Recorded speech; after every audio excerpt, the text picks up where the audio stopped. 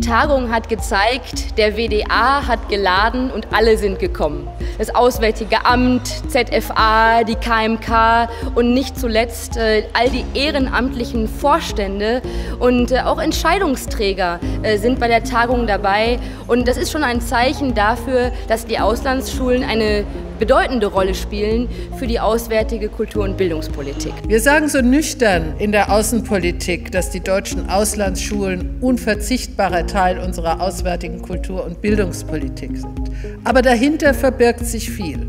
Was mich immer wieder sehr bewegt, ist der Anteil des sozialen Lernens und das Mitgeben von Werten und dem, was wir auch zeichnen als das Deutschlandbild. Ich freue mich sehr auf den Austausch mit Vertretern der Auslandsschulen, mit Vertretern des Weltverbandes der Auslandsschulen, weil die deutschen Auslandsschulen das Flaggschiff auswärtiger Kultur- und Bildungspolitik sind. Sie bringen den besten Beitrag zum Verständnis der Art, wie wir denken, zum Verständnis für unsere Kultur. Ich bin heute auch zu Ihnen gekommen, um dafür sehr, sehr herzlich zu danken, für diesen großartigen Einsatz, damit in den Schulen diese pädagogische Arbeit möglich wird.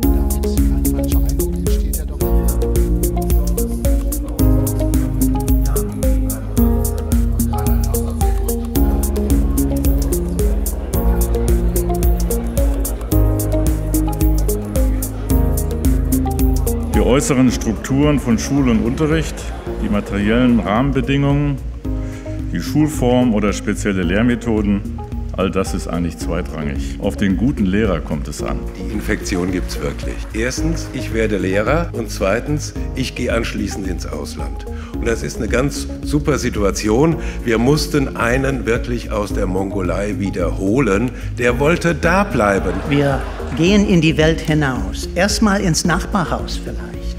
Und dann in die Nachbarschaft. Und dann in das nächste Dorf oder das nächste Land. Leute wie ich dann landen hier in Deutschland.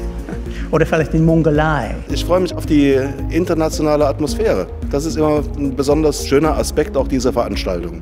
International und dennoch deutsch. Das geht. Die deutschen Auslandsschulen sind eine Erfolgsgeschichte und Geschichten sind dazu da, dass man sie erzählt. Dann sind sie auch lebendig.